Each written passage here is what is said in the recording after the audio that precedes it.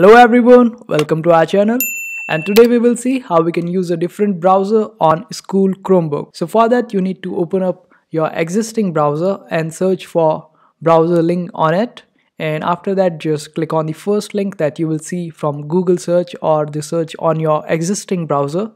Open it up and this is how it will look like then all you have to do is just select this first option select the version of your android or just keep it on default which is windows 7 then choose the browser of your choice. Suppose i'm choosing the chrome.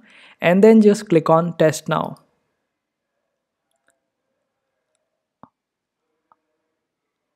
Wait for a while and it will open up. And it has opened up.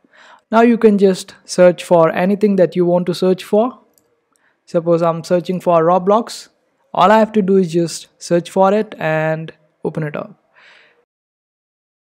It will work quite fine and it will work on your existing browser. And that's how you do it. I hope this video was helpful. Make sure to hit that like button and also subscribe to our channel for more helpful videos